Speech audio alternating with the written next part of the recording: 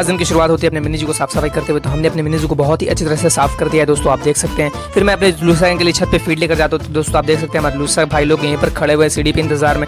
आप देख सकते हैं, मैं जैसे ही छत पर चढ़ता हूँ, हमारे आगे पीछे लूसा लोग घूमने लगते हैं। फिर मैंने अपने लूसा को फ़ीड दे दिया। हमारे लूसा बहुत ज़्यादा ही भूखे थे। फिर हमारी लूसी फ़ीड खाने के बाद दोस्तों, अपने बच्चे को भी फीडिंग कराती है। आप देख सकते हैं, बहुत ज़्यादा ही ग्रो हो गए हैं दोस्तों, हमारे लूसी के बच्चे। फिर मैंने अपने कबूतर कट्टा में पानी भी भर दिया और हमने अपने कबूतर को दाना भी डाल दिया। हमारे कबूतर काफ़ी भूखे थे और लोग बहुत ही अच्छे तरह से फ़ीड खा रहे हैं। फिर दोस्तों, मैंने अपने बॉक्सेस मंगवाए हैं, अपने कबूतर का नया घर बनाने के लिए तो आप देख सकते हैं। दोस्तों, हमने 10 बॉक्स मंगवाया है कबूतर के घर बनाने की बिकॉज़ यहाँ पर बहुत ज़्यादा दिक्कत हो रही थी तो हमने सोचा कि यहाँ पर क्यों ना हाउस बना ले दोस्तों तो दोस्तों, हम लोग काम स्टार्ट करते हैं। फाइनली दोस्तों, आप देख सकते हैं, हमारा 40 परसेंट वर्क डन हो चुका है। सिर्फ़ दोस्तों, अब इसमें गेट लगाना बाकी और कलर करना बाकी है तो इंशाल्लाह दोस्तों लोग बहुत जल्दी करेंगे। अगर आगे का अपडेट जानना चाहते हैं तो हमें सब्सक्राइब करें। हमारे सारी फिस बहुत ही अच्छी तरह से एक्टिव है, दोस्तों, इन लोग अगर आज का ब्लॉग आपको अच्छा लगा हो तो प्लीज़ लाइक करें कॉमेंट करें। ऐसे ब्लॉग देखने के लिए हमें सब्सक्राइब करें।